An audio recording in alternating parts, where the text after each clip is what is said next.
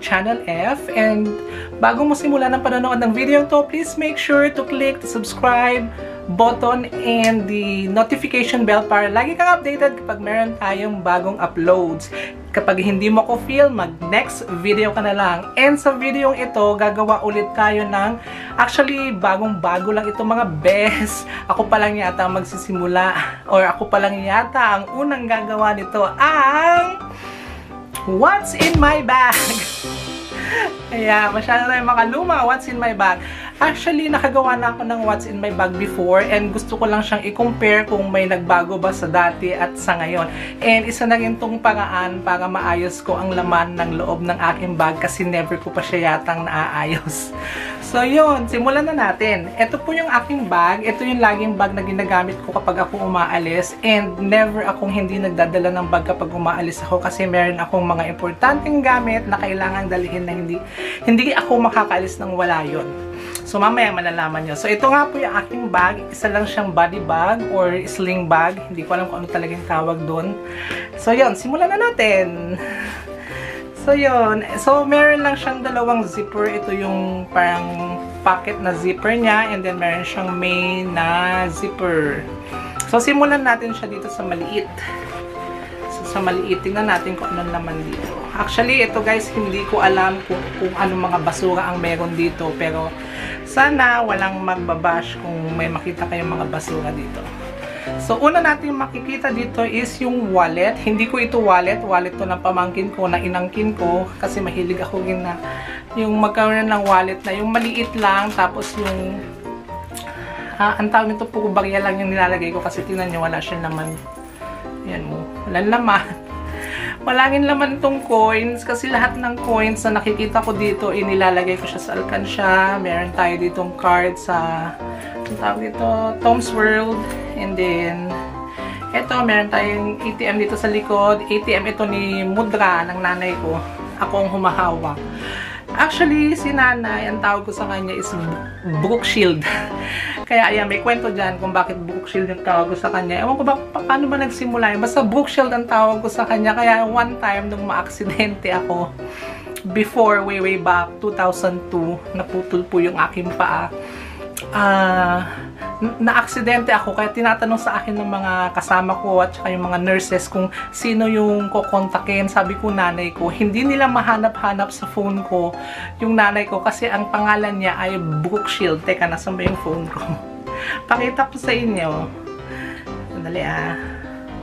Ito yung phone ko. Hindi ko na siya, actually wala siya sa bag ko pero nilalagay ko dito sa bag. Saan ba si Brooke Shield? Ayan. Nakikita ba? Ay, ay, hindi kita. Hindi kita. Ayun ba yan? O eh, basta, yun na yun. Basta yun. si Brook Shield. Okay, so meron tayo. Oy, nawala yung focus sa akin. Hello? Focus ko sa mukha kong pangit. Nawala. Ay. Uy, wala yung focus mo. O, nadumihan ka ba? Hello? Hello? Sandali nga guys, pupunasan ko kayo pang nadumihan kayo eh. Hamak yung broke shield na yan eh. Oops! Hoy! Focus! Ayan! Ayan! Bagal! Imagine mo yun, 3 minutes na agad. So yun nga, meron tayong wallet. Bilisan na natin. So ano pa ba ang laman? Meron tayong 50 pesos na bill. Meron tayong candy. Ito ang ginagamit kong candy kasi lagi sumasakit lalamunan ko. Meron tayo, oh, dito pa ito. Meron tayong ticket. Ito yung ticket ng outing na sinamahan ko last week. Actually, ni-upload ko na yan. And, ito rin, ticket sa sinihan. Nanood ako ng sine nung nakaraang araw. Free lang ito ah. Free na sine lang ito ng Aquaman meron tayong 25 cents. And meron tayong calming oil. Actually, isa ito sa essential na kapag umalis ako laging nandito. Ayan, essential oil. And then, dito na tayo guys sa ano, wala nang laman to. Na kayo makikita ng. Dito na tayo. So, meron pong dalawang division. So, dito na muna tayo sa malaking division. Una, meron tayong wipes. Ayan. Hindi ako nawawalan ng wipes. It, kung wala akong wipes, I make sure na alcohol ang dala-dala ko. Bakit nawawala ako sa focus? Ayan. Ayan. Andito, meron ako. Ito yung pinaka-main wallet ko. Yan. Wala gintong laman. Pagpasensyahan nyo na puro cards lang siya. Ayan. Puro putang. Ayan, mamaya uh, mag-a-upload din ako ng video tungkol dito sa mga cards na ito. Bibigay tayo ng mga tip kung paano tayo makakatipid at hindi tayo malulubog sa utang. So, yon Maliban siya, I make sure na meron din akong towel. Kung hindi towel ang dala ko, meron akong dalang lampin. Yung pang baby, yon Mas maganda kasi siyang gamitin, mas nakaka-absorb siya ng pawis. Yan. Madumi na to, hindi ko pa to nalalaban. Yan. O, tama. Tatanggalin na nga kita dyan. Meron din akong bag.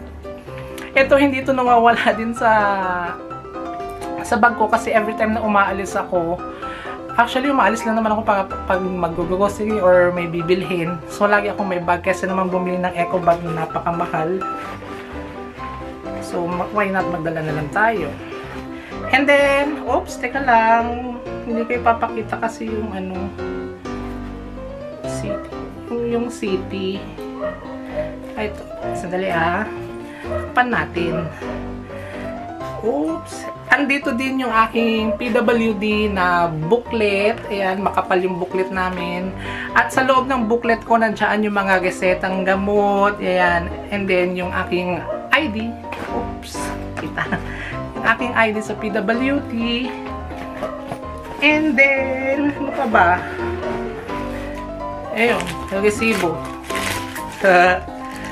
Gula-gulanit na resibo galing sa Watsons. Bumili ako ng gamot basura. So, tapos na tayo doon sa unang division niya. Dito tayo sa parang pinakabulsa niya. So, meron din tayong, ito, planner. Actually, 2018 na planner pa ito.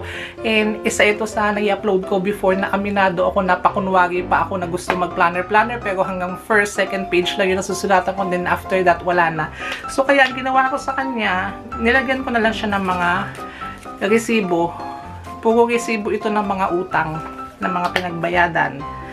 So, yan. Yan, planner, kuno-kuno. Meron din tayo isang plastic. Ang laman ng plastic na ito, pakita ko sa inyo guys, kasi pinagmamalaki ko ito eh. Teka lang. Meron tayong prayer na booklet. Ito, uh, set ng gamot na hindi ko alam kung expired na.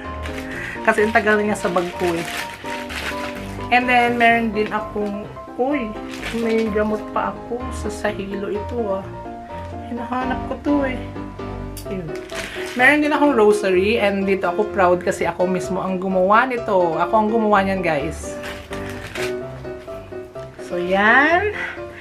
And then, meron ulit tayong resibo ng grocery. Ayan, ano pa ba?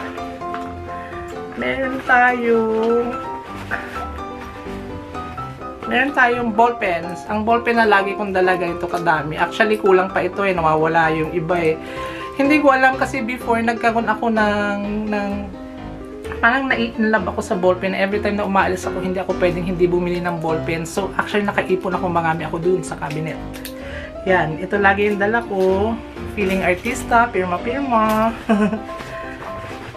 Tapos, meron din tayo nito. Oh, ito, alam nyo to guys. Uh, ito ang Lucas Papa. Papa daw ang tawag dito, hindi papaw. Uh, madalas kasi akong mag nagbi-blister-blister. Ang tawag daw wind, windburn. Kaya ito ang gamit ko, Lucas Papa. Ayun. Ma-effective siya guys kung gusto nyo itry, itry ninyo. Effective siya. Alam ko meron na siya dito sa Watsons. And then last, last na laman na siya guys. Yan. Ito, isa rin to sa essentials ko na laging dinadala kasi actually lagayan talaga ito ng mm, excuse lagayan talaga ito ng retainer ko pero hindi ko na siya ginawang lagayan ng retainer pero ginawa ko na lang siyang medicine uh, basta chuchu, medicine chuchu ayan. Ito, meron ako nitong Gaviscon na ito kasi ewan ko ba, basta yung, ang makakaintindi lang nito yung mga kagaya ko ng sitwasyon na, ano, na lagi kasing sumasakit ang sikmura ko kapag nag, nag-aatake si anxiety. Yan.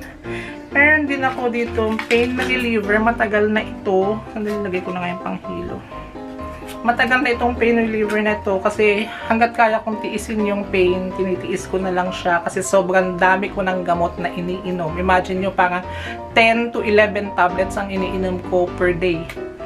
And then, ito, gamot sa hilo. Hindi ko sasabihin yung mga pangalan niya guys kasi yung iba dito is prescripted. Hindi siya kaila, hindi siya nabibili ng walang ng walang reseta. And ito ang pinaka-importante sa akin isa ito sa nakakatulong sa akin, although hindi ko na siya masyadong ginagamit.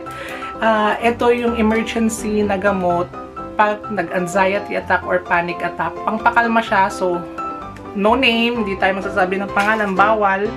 At kahit sabihin ko yung pangalan, di kayo makakabili kasi kailangan ng reseta niyan. Pag binibili yung gamot na yan, ang nire-require sa amin, sa mga kagaya ko, maintindihan nila, ano naman yung focus? Uh, dalawang kopya ng reseta. Ay, oh, tama. Dalawang kopya ng prescription bago ka makabili. And yung first time na bumili ako noon, nag-register pa ako sa sa butika or sa pharmacy and then isasubmit daw nila yun sa PIDEA para controlled yung kung sino yung mga bumibili noon. So, that's it lang guys. Yun lang yung laman ng aking bag. Wala na. And kaya ko naman siya inulit yung what's in my bag. Kasi before, medyo malaki yung bag ko. And alam naman ninyo na meron akong kondisyon or sitwasyon na meron akong anxiety or panic attack. Or sabihin na natin mental disability. Huwag na tayong magkuning-kuning dyan. Basta yun.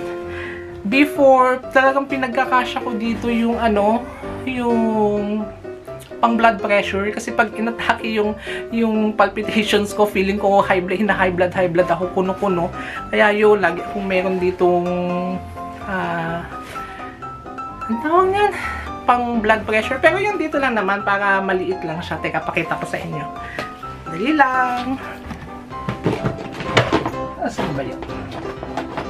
Okay